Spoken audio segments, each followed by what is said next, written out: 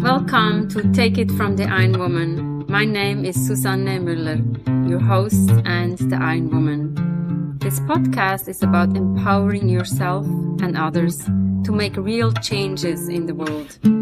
You will hear from everyday, smart, sophisticated, hip people like you and me. Not everybody has to be an Iron Woman to impress the world. Together, we will learn from the sports and business leaders how you can become a more successful person as an entrepreneur or a leader. It's one step at a time, one day at a time. Take your steps now. Take your big steps now. Join me on this journey to success. Take it from the Iron Woman. We only have special guests, and today I'm really honored to get to know Louisa a little more. Louisa is from France, so we figured out we have a few things in common. You and I, we both grew up in a town with a castle. There's already something special. And we both went to an all girls school. We've been living in New York City. And I have to say, I love anything art. So we just want to hear from you. Louisa, tell us a little bit how did it all start in this beautiful town with a castle in an all girls school? Okay, so hi, Susan. Thank you for inviting me first. Thank you. I'm really pleased to participate to your uh, show, to podcast. I'm from the countryside, which is in Lorraine, northeast of France, where they used to have a castle called Chateau Pierre de Bar. And when I was young, I always wanted to be an uh, archaeologist. I loved trying to find treasures. That was my passion, was going to a girls' school, as you said. And it was very strict and when I was six years old, I won a competition, a jury over there from the World's World Health Organization. I was feeling really proud in a way to have this contest, won this contest. I didn't take any notice on that because I was a child, I was six, and my life was continuing. I love drawing. I love the nature. I love spending time outside, playing in the forest, playing with the mud. So I was really mm-hmm. creative really and dreamer as well. This started early on, and you were able to fulfill your dream in a way. And fast forward, you moved to New York, and I was really intrigued when you told me about 2019 Women Empowerment exhibit. So, New York Her with the H. Tell us a little bit about that. As I say, when I was young, I always loved being a storyteller because I loved talking about story to my sisters and for hours. In 2019, I came to New York 10 years ago. It wasn't easy. I've been through different experiences and I decided to go back to school at the Art Student League, which is an iconic school where amazing artists like Pollock, Benton, Louise Bourgeois, the Koenig Calder went there. I'm a part of this world. And later on, I decided to go through galleries and it was really hard when I feel a little bit rejected. So I decided to, to change my way. And I said one day, I woke up and I had an epiphany and I said, oh, maybe I should create my own project without knowing how to do it. I said, okay, let's try to think about it. And I was really inspired by my mother because she was an illiterate woman. She never had a chance to go to school. But when she was 72 or 70, she decided to, to go back to school and to learn how to read and how to write. It was my inspiration. After that, I saw her going to different school and talking to kids that talking about education was so important. In 2019, I decided to create it New York Her with a H featuring women from the diversity from New York. I wanted to do like kind of woman empowerment with inclusion and talking about their own story because I'm a storyteller and using augmented reality inside the Canva, you could see their own portrait. It's kind of telling the what they've been doing from scratch and becoming entrepreneur. They were really powerful and they were inspiring other women and the new generation. So that's why how I ended up creating this project. We end up at Art House Hotel, which is on the Upper West Side on 77 and Broadway. I had a panel discussions. People were there. I, it was a great experience. How do you become an entrepreneur and selling yourself with a beautiful art? this is start when I was at the Art Student League. I saw a lot of artists who were really desperate, really unhappy about. They didn't know how to sell their art. And not only selling, they didn't want to show their art, but art should be shown even to your neighbor or to people on the street. Or I noticed something was a little bit wrong. And I don't know why I said, and I had a chance. I was really supported by a great mentor because being uh, three months after being at the art student league, I did a contest and I won a competition from the jury over there, from the gallery. And one of my mentor, his name was Charles Inman, amazing man, very well-known artist. He told me, Louisa, you shouldn't be here. You should go outside and find yourself far away, not only in New York, you need because you deserve it. He said to me, you're an artist, you have to accept it. Thanks to him because it really helped me to accept the way how I was. So it was kind of, I was doing my coming out. After that, I went through galleries and as I said, I feel some rejection. That's normal because it's not easy because the art world is pretty opaque and you have to get to be connected with galleries. If you don't know anyone, it's really hard. And especially as well at this time, even when you're a woman, not easy. Some galleries said, we prefer to have a man. It happens, but I don't want to globalize. It happens once. I uh, came home and I said, what should I do? Should I give it up? I found my strength and I said, no, I would think about my mom. She did something. So I want to be inspired by her.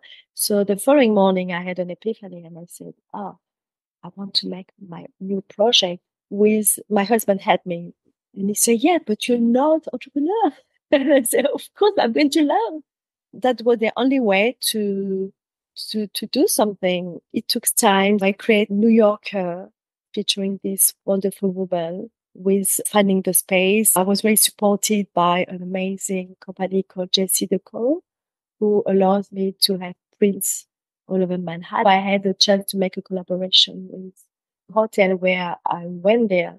The name of the hotel is Arthouse Hotel. So that's how I decided to understand that I didn't know I could have some impact with this woman because I didn't realize that as an artist, just simple artist, trying to to gather hundreds of people in the hotel and doing panel discussion and showing them the light. That's what I love. And what I love as well is all this painting with their portrait were inspiring the new generation. I even saw a little girl was maybe 12 years old. She cried in front of the painting because she said, I recognize myself and now I have some hope. When you see the impact art project can make it, I realize I'm using my art as a person, as a Louisa L. Louisa L. I love this. I also like all the L's. It's lifelong learning.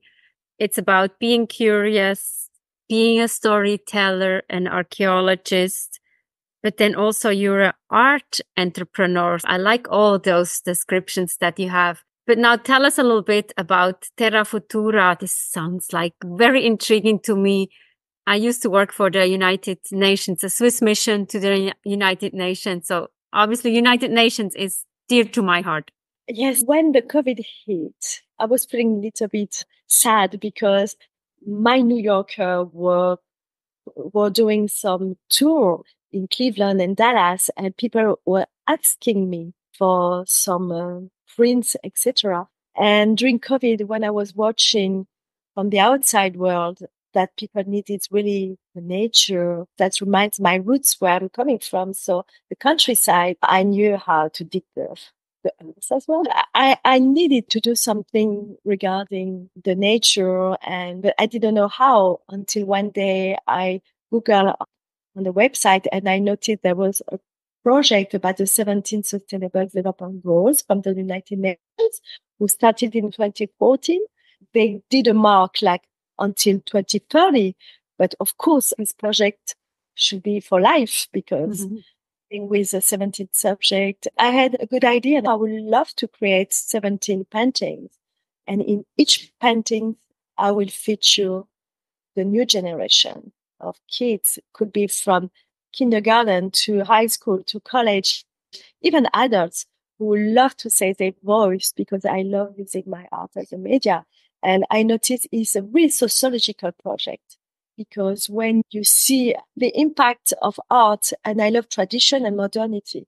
Okay, this time I wanted to use it, my project, not with augmented reality, but with a QR code. So it's direct because time is really important today. Using QR code was really fast. I created Terra Futura in 20, yes, maybe 2020, something like that. I started to draw from scratch. I, it was really long journey to think about how I'm going to make this, this canvas because it takes time to think about one painting, especially the subject who are really, who is really meaningful. And I use, for instance, uh, how to stop hunger. And so I needed really to be inspired by what I learned with my style. And I'm a really good colorist. I love colors. I wanted to bring all my energy to people because my mission, uh, since I'm young, I always wanted to make people happy and through my colors and especially bringing light to others, changing the mindset. Why not? And the only people I wanted to feature was kids who had the chance to have a message so they can, we need to talk, to let kids talking because they, they're the first who can inspire their own generation and the old generation as well. I started painting 17 paintings and when I finish it, how I'm going to do it? I went back to my hometown. I didn't know. I, I just wanted to find a small space. Uh, I had a chance to see the, the mayor there and it was so nice. He said, Oh, I want you to be featured in our cultural center. I become a kind of ambassador of my town. It was absolutely stunning. I didn't know. I didn't have a clue how it will end up. October 22, I had a chance to feature my 17 paintings. It wasn't the original, but the print. I sent all the 17 print there. They did an amazing display. I didn't realize there were like news and local news and people mm-hmm. in my hometown, it's a very small town, over 150 people who came. It was kind of, I don't know if about the movie Cinema Paradiso as the same experience as New York for Terra Futura, people wanted to gather. I realized people needed community to see art, to be happy. To so it was an amazing experience. That's how it starts. During this event, there was a teacher over there and she said, oh, she came with kids, like five kids. And she said, Oh, we love your project. We're dealing with sustainability and a program and uh, we want to, we would love to have your project to make our kids working together and using your art for the end of the year state taste at L'Oreal. And I said, wow, of course. And she said, oh, but we don't have sufficient means to pay for a bus to go to museum, which is far away from where I'm from. Let's do it. Make it as a tour. and so the project has been on a tour for one year from all my region in Lorraine and end up in September 20, 20 of September 23 to outside of Paris, not far away uh, in Sceaux. I was in the town hall of the beautiful place. The project was on a tour in, France, but I live in New York. I have to show this. That's how I end up for Earth Day in 23 in one of a high school in New York. So I feature my origin of my painting there just for the Earth Day. Congratulations. and I love when you start, it says Terra Futura means like the future of the Earth. It's not only the future of the Earth. Of course, it, the Earth, talking about the planet, I always talk about planets. It's more, it's, of course, it's a Terra Futura, but it's still the present. The action should be the present for the future but the band. That's why it wasn't easy to find this name, but it was really, it's really good to hear that we are dealing with education and people, the planet and the world in a way, talking with 17 subjects. Hmm. That's why I call this project is a kind of sociological project. Every company in a different world can study this project. And that's why I decided to make as a movement when I receive all the messages from kids from New York, Washington DC, Africa, France, maybe India, and where from Burkina Faso, maybe. Somebody yesterday wants me to. It's really, I'm really happy to do that. I'm really happy because I'm still an artist, but I'm an artist as an art entrepreneur and using my art for projects to make impact. This is fantastic. Let's follow this movement and let's be part of the movement. What do yeah. you do to to relax or can you relax? People will, will listen to me. They have to understand when you're an artist, it's not easy job. It's not a, the, the easy, simple job. Of course, I have my family, but I would say I always try to be avant-gardist, creating, thinking about, I didn't only created Futura, New York Her. I created already 10 pieces of women from the all over the world. I already love drawing since 2017. I'm doing like a golden series using gold because gold, my name means gold, means precious and life is precious. Everything is connected with life. That's why I love to about light. When I decided I was working, I'm, I'm really lucky to be part of Art House Hotel because on Saturday, like for instance, I need to work, of course, because being an artist, I need to do my own promotion, selling my art to support my project. I'm supported by a foundation called Creative Vision. People want to buy.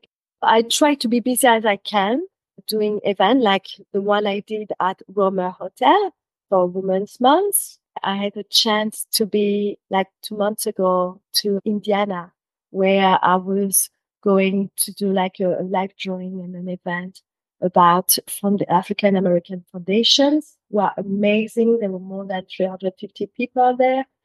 I created a couple of drawings for all the people who supported the foundation, who helped to raise money for people in need or for women who are alone or for kids who don't have parents or to have community and the African uh, American as well and I'm really happy as well. I'm working now for for the future in a way, and I'm really happy to say from November to February 25th.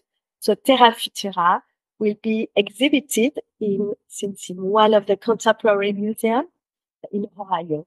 It shows that there's hope for Terra Futura, and, and of course, I'm still always active trying to find connection and engagement with the school community.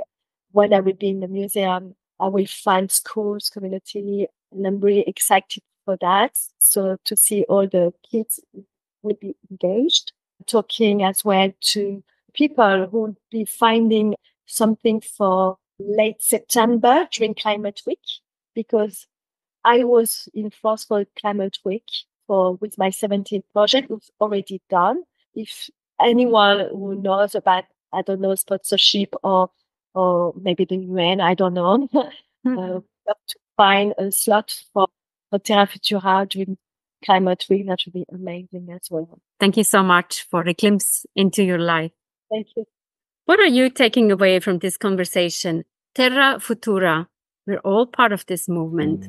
Take it from the Iron Woman. We have episodes every Monday. Don't miss out. Come and join. Ask questions. Learn with people create a movement, and also get the book, Take It From the Iron Woman Global Business Coaching with Sports Parallels. Download it or get it in your local bookstore, shop local. Support women owned companies.